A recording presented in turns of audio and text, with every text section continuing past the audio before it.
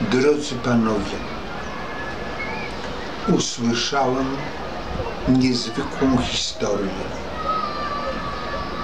Przychodzi mamut do mamucicy i mówi do mamucicy "Mm".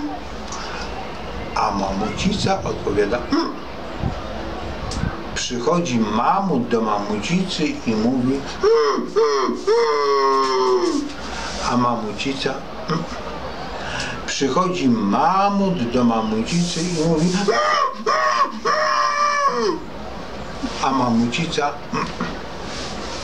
i tak wyginęły mamuty. Kochani, tę historię bardzo często dawałem jako przykład bardzo mądrych słów Einsteina, który twierdził, że jeżeli coś robisz po raz kolejny w ten sam sposób, to nie oczekuj innych wyników, bo jeżeli coś robisz po raz kolejny tak samo, to efekt będzie taki sam.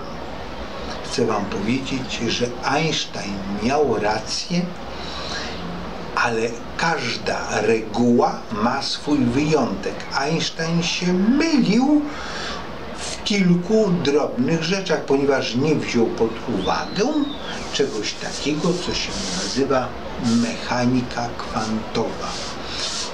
Czyli jeżeli masz do czynienia z kobietą, to nigdy, nigdy nie masz dwa razy do czynienia z tą samą kobietą. Ona za każdym razem jest inna. I z tej zasady skorzystał mój dobry przyjaciel, który oświadczał się swojej dziewczynie 26 razy i 26 razy dostał kosz. Za 27 razem powiedział mu, a niech będzie. Jasne?